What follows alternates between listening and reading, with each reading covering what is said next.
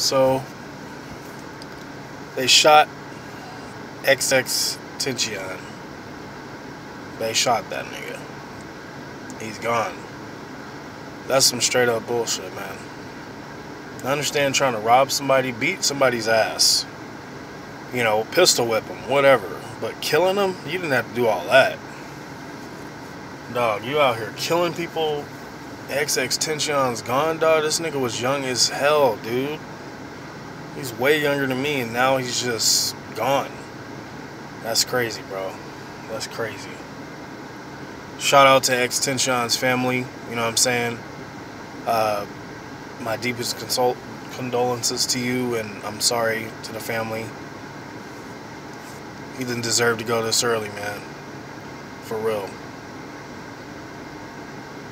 May you rest in peace, my man.